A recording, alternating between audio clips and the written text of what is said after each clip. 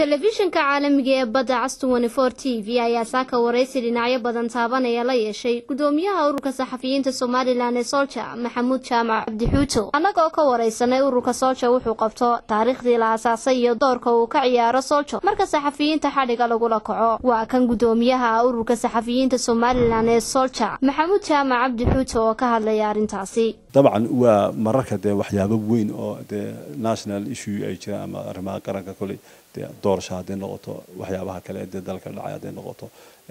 way keentaa arrintaas laakiin doorashadii ugu dambeysay waxay ahayd tii keliyaata ee aan hal suxufi iska daa in la xidha xataa aanu ka cabanin qaabkii uu xirfadiisa ama mas'uuliyadda saaran u gudanayay. Marka maalinba maalinta ka dambeysa kolley waxaa dee la helayaa waayo aragnimo badan tababaro badan. Waxay ahayd sanadkan markii ugu horeysay ee saxaafadda somalilan tababaro arrimaha saxaafadda khuseeya runtii ay si isdaba jooga u heleen muddadii doorashada ka horeysa aanu isleenahay saxaafadda wax badan baa uga baxay qaabkii wararka u taminaysay sidoo kalena waxaan isleenahay dee commissionka doorashooyinka oo runtii aan iyagana wada shaqayn dhow yeelanay tababaradana ka qayb qaatay runtii baa iyaduna sahashay in saxafiyiintu tariibkan doorashadii si fiican uga qayb qaateen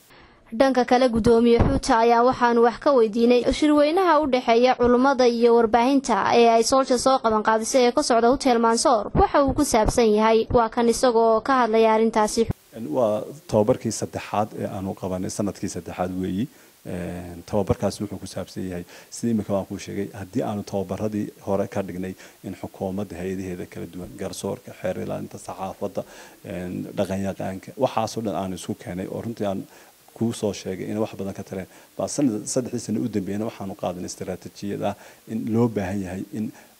culimada iyo saxaafadda maadaama dad islaama nahay saxaafadda waxa ay diinta islaamku ka qabto iyo sharcigu wuxuu ka yeeli runtii marka wax badan baanu isleenahay iyaduna way ay ka tartay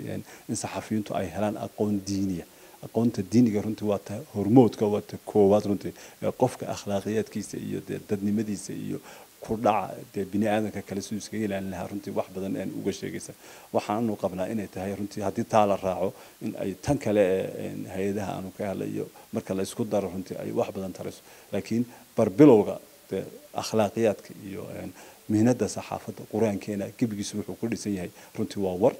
ilaahay toos inoogu warramayo oo bini u sheegay dee wixii ay ku noolaan lahayn qaabka ku noolaan lahayn. Rususha iyo ambiyada uu soo dirayna runtii fariimaha uu soo dhiibaya ah dee masajadu waa waxa aynu ka waranay ah in dee xog sugan oo dee bini lagu maamulo runtii rususha loo soo diray iyaguna ay dadka gaarsiinayeen dhanka kale gudoomiyaha ururka saxafiyiinta somalilan ee solja maxamuud jaamac cabdi xuuto ayaa waxa uu ka hadlay duufaantii ku dhufatay dhowaan qaar ka mid ah xeebaha somalilan weliba gobollada somalilan sidoo kale gudoomiyuhu waxa uu ka hadlay dagaalkii saaka ka soo cusboonaaday deegaanka tuqara waa kan isagoo arrintaasi ka hadlaya.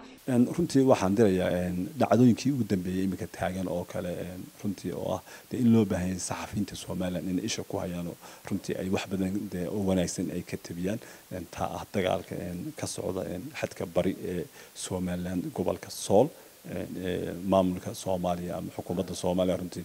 dee somalilan ay ku soo qaaday oo maantadan iminka wareysanaysaa runtii dagaalkaasi ilaa saaka siduu bilaabmay uu socdo in marka horeyse ay badqabkooda ka shaqeeyaan saxafiyiintu. Qofku marka uu dee badqabkiisa ka shaqeeyo bulshada adeega uu hayo dee uu soo gudbin karaya. Marka in layska ilaaliyo wararka aan dee xaqiiqad ahayn wararka aan ka turjumayn dagaalkaasi dee waxa uu keensaday tiro sugan oo aanay dee runtii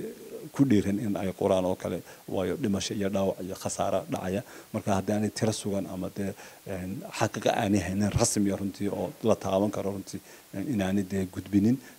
waan dareemaynaa xaaladaan ku nool deegaankaanu ku noolahay maamulada iyo siyaasiyiintu qaab qabiliya haddaa mararka qaarkood dee xaaladaha loo dhigaa in aanay saxufiyiintu dee qaababka ku gadmin oo aanay dee ku degtoonaan sucaad maxamed qowdhan telefishinka caalamiga ee badda cas t v magaalada hargeysa